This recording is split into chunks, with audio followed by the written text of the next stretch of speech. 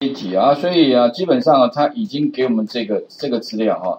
那考试的时候，基本上啊，他应该已经就是这个这个资料已经是呃，就是会有城市码提供给给你们。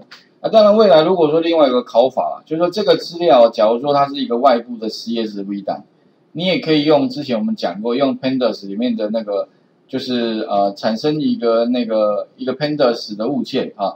它里面有一个叫 read C S 呃 read CSV 上哎上礼拜才讲过，呃哎对上次在讲那如果你要读取的话啊，就是在第七个单元有没有？我就讲到 import 一个 pandas，然后 S P D 好了，那这个 P D 本身哈，它有一个方法叫做 read CSV，那你就把这个 CSV 档有没有直接就放在这边给它读取，那但是可能要注意一下，它预设是。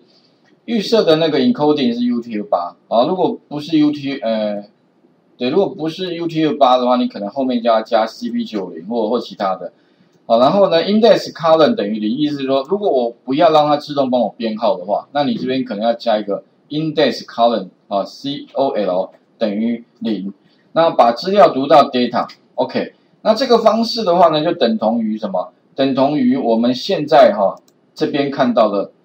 啊，这个方式就是说，它已经已经给我们了。如果说它这个程式啊，假如说不是外部读取的话，那变成你需要先产生三个东西。第一个东西就 data，那 data 基本上啊，指的就是呃，我直接开开这个档给各位看比较明白。如果 data 的话呢，哈，其实就有点像 Excel 档，Excel 档里面的什么呢？就是中间这一块。OK，如果 data 的部分，这个中间这个部分呢，指的就是 data。OK。那上面的部分的话呢，就是 columns 栏的名称。那左边这一块的话，就是 index。所以呢，也就是一个 pandas 啊，它至少会需要有三个啊，三个元素组成的哦。那最重要当然就中间这一块。OK，那 index 啊，如果你看 index column 预设值，如果你没有前面的 index，你另外也可以的，它会自动帮你做编号。也就 index column 那个，如果你没有加等于零的话，等于 for，它会自动帮你加编号，会多。那个 index 变成编号了，OK 哈。那我们如果说呢，今天以这一题来看，然后你可以看到了，因为这个题目是它已经预先给我们了，所以它 data 已经帮我装进去了，就是把中间这一块的资料怎么样，一个一个的帮我装进。它装的方法一定一定是什么？三重的这个这一笔 record 里面的资料，这个是 key 嘛哈，啊里面的资料九，好，所以它会怎么放呢？它会放九，然后后面的资料，这个就是一笔 record。有没有？所以有点像是它放在一个串列，一个大串列里面，它会把每一笔资料放在一个小串列里面，有没有？那这个就是所谓的二维串列。那也就是如果未来哈，你要产生一个 data，你要放进，一定要是二维的。哎，那这个其实跟那个我们资料，我之前讲过嘛，资料库你要 SQL many 嘛，也有点类似，SQL many 也是二维的哦。所以哈，两边其实是可以相通的。如果你有 data，哎。那你干脆就拿 data 嘛，用 SQL many 直接就把这些资料就塞到资料库里面了，啊，但这部分应该就没有问。那再来的话就是 index，index 指的是什么呢？就是前面就左边指的是左边这个区块，三重区一直到丰原区，OK，所以我们这边它预设已经给我们一个 index 啊，然后一个 columns，columns 指的就是上面这个区块，OK 啊，那这样的话就构成一个 pandas 的一一个一个完整的资料。所以呢，最后的话呢，我们就产生一个 data frame。所以特别注意啊，如果你要产生一个 data frame，那你就分别把这个一个萝卜一个坑的把它放过来啊。所以基本上就是把这个放到这边，这个放到这边，这个放到这边。但是其实啊，如果你这样子乱的话啊，你会就是上次有同学是问到前面这个名称有没有？其实如果你不要这个名称的话哈，主要是因为顺序不对，理论上应该是什么？先 index。有没有？啊，是个在 column。如果你是 index 在 column 的话，那其实你前面这个参数名称哦，这个可以拿掉，没关系哦。因为我看它里面的说明顺序是一定是先 data 是，在 index，在 columns，顺序一定要这样啊。如果你的顺序不对的话，那你必须要在前面加上参数的名称，就可以改变它的顺序哦。啊，这个概念不是只有 Python 是这样子。其他语言也是这样子，OK 哈，应该可以懂我。有上上有有讲过了哈。好，那这样的话呢哈，你就不需要前面的东西啊。再来就是说，它需要我们做一二三啊四个动作。那这四个动作分别做什么呢？就是帮我把什么呢？底下这些做计算，A、B 一直到 D 哈，啊里面做出来。比如说第一个，我们逐一逐一来看，就是怎么样再把这个东西输出啊，上面会有一个标题名称。再来就是把这个 data frame 把它输出。OK，第一个。那首先的话呢，我们逐一来看一下怎么做这个呃题目要的动作。我们先把底下这些先注解掉好了。OK，先不要跑。然后呢，我们先跑第一个。第一个的话就是我先产生一个 data frame，然后呢上面再 print 什么？它的那个标题：西瓜与香瓜的拍卖行情价格表。然后最后把这个这个上面的 data frame 嘛，这个东西把它 print 出来。所以我们来看一下。如果我要把它 print 第一关，OK，第一个有没有得分呢？OK，还得分了，哦，所以你会发现哦，这个地方西瓜与香瓜之间的行情，然后看得出来哈，北中南好像行情以三重是哎不，板桥好像反而北部的价钱好像越越便宜，那最贵的看得出来哦，在台东好像一一公是不知道一公斤还是多少。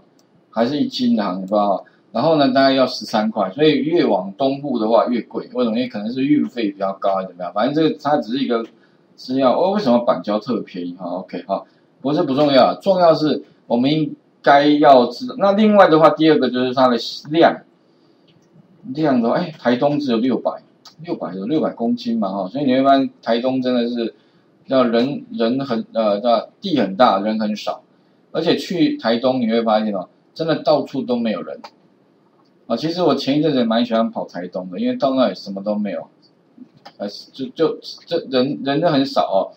像我那一天来上次去资本出车车站，其实真的就一整片，其实就绿油油，就没没有没有任何人。你去池上也是一样嘛，你出来那池上车站非常漂亮嘛，哦，OK。然后一出去的话，要不你就是去跟大家租那个脚踏车啦，有没有电动车？你也可以在博朗大道那边可以。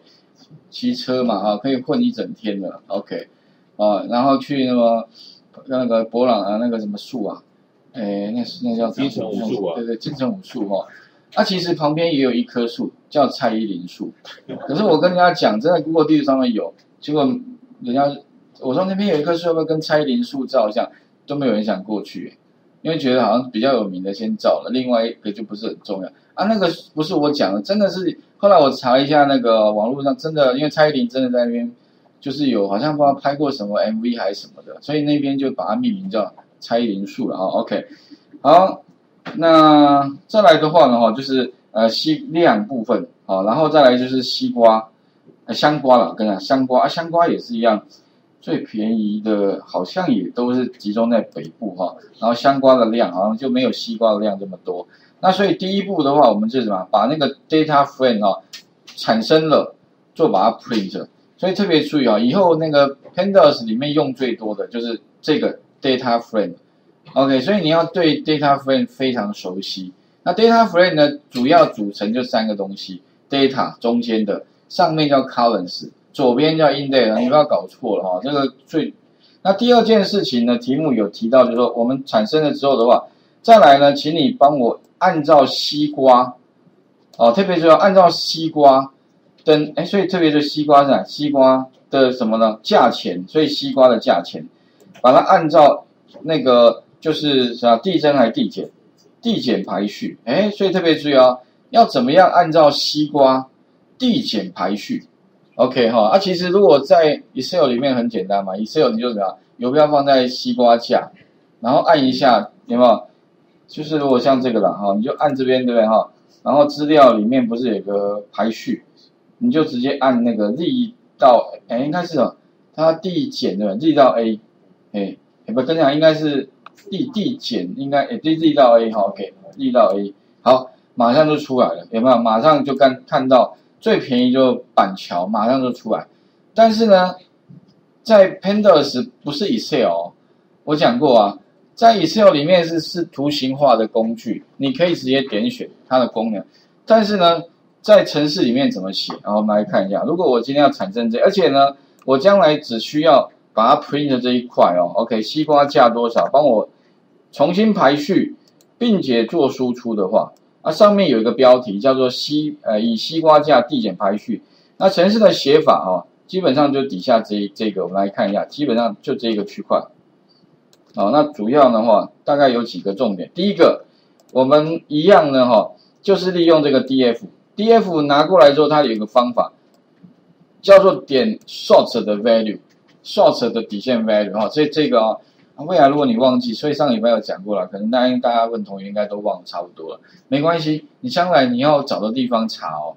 OK，那怎么排序呢？后面记得哈，刮胡之后的话，给它参数第一个叫 by，by 等于 by 的话就是要依据哪一个栏位排序。那后面的话你跟他讲哦，按照西瓜价，这个西瓜价记得一定要跟上面这边有的名称有没有 color 有的名称是。